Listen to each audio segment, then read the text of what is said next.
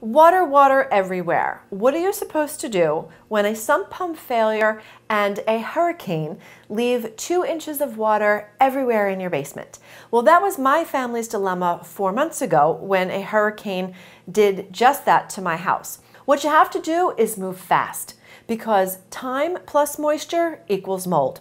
So I want you to subscribe too while you're here because I'm going to have a lot more videos sharing how we did this basement renovation and how we saved thousands of dollars by doing it ourselves. But the first step was the water remediation after the storm hit.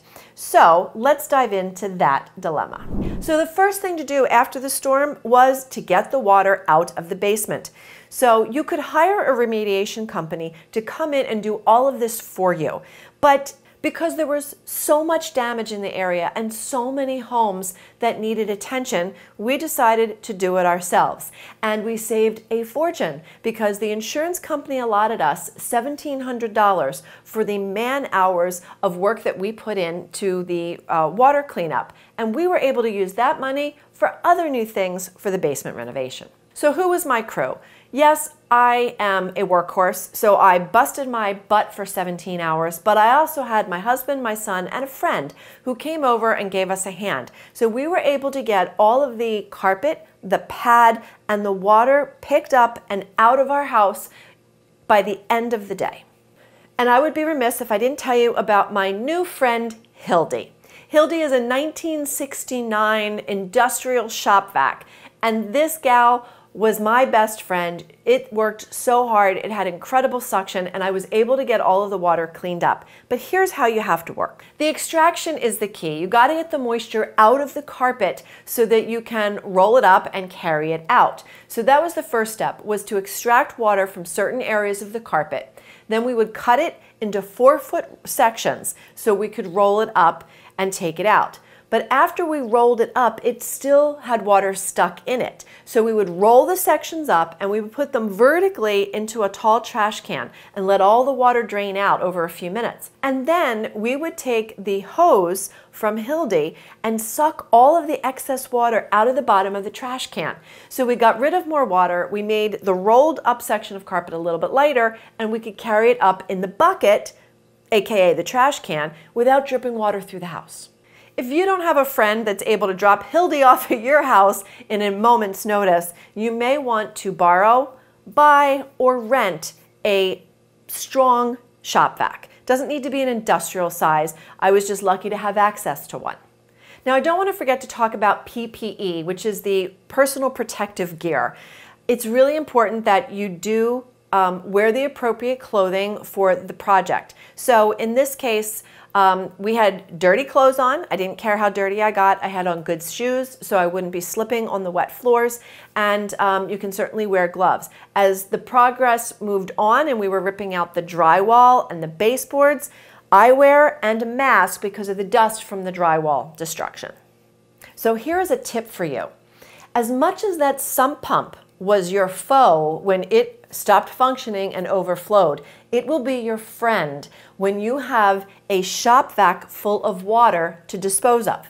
We rolled Hildy over to the sump pump once the power was restored and the sump pump was working, and we would dump the water right into the sump pump. So we didn't have to carry buckets of water upstairs to dispose of. But here's an inside tip. We used an old colander inside the well of the shop vac to scoop up any carpet fuzz and gunk or any other debris that made its way in so that it didn't clog the sump pump in the future. And definitely make sure that you cut your carpet and padding into four foot sections before you roll it up because that is typically what trash haulers will accept. So you want to make sure that it is done ahead of time and you're not trying to cut it in the driveway later. And we learned that the hard way because we cut a few sections too big. So we had to cut it down outside.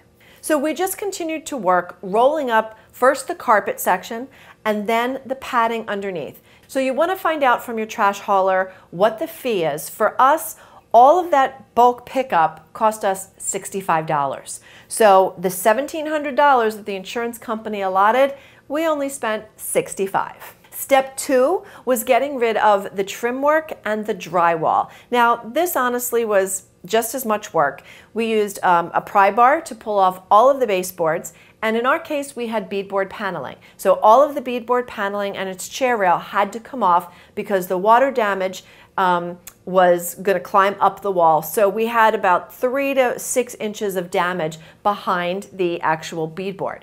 Now, once all of that was pulled off, we broke it into sections. We would cut the baseboards into four foot or less sections, sometimes three feet.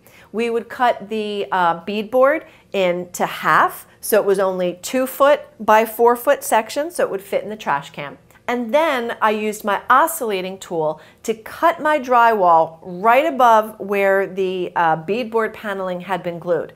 And then we were able to take off the drywall sections.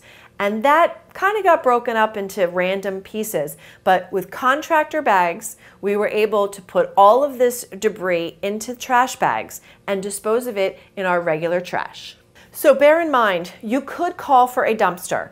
Um, typical dumpster is anywhere from four to six hundred dollars, um, even for the smaller size ones, and you know you'll have it there for days, you know, to put your all your debris into. By using the durable contractor grade trash bags, we were able to bag up all of our debris. We, like I said, cut it down to a manageable size. It fit into bags, and we were able over about two weeks to take all of the trash bags out.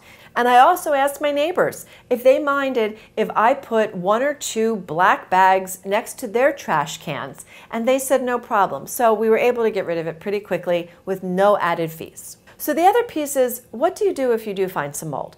In our case, we had very little mold growth on a few of the um, studs that were behind the beadboard. So I got mold control. It's a great product. Um, it did not have a strong odor. You spray it on, you scrub it in, you wipe it off and let it dry. So we did that and let that um, air out, and it was probably um, a good two to four weeks before we were even ready to start putting new drywall up. So everything was really dry, and I knew that there were no active mold growth areas. So throughout this whole process, we had fans, we had the dehumidifier going, we had an air purifier, and we made sure that we were clearing the air as much as possible. And we were wearing masks when we were down here working on um, the drywall with all the dirt and the dust and possibly mold spores.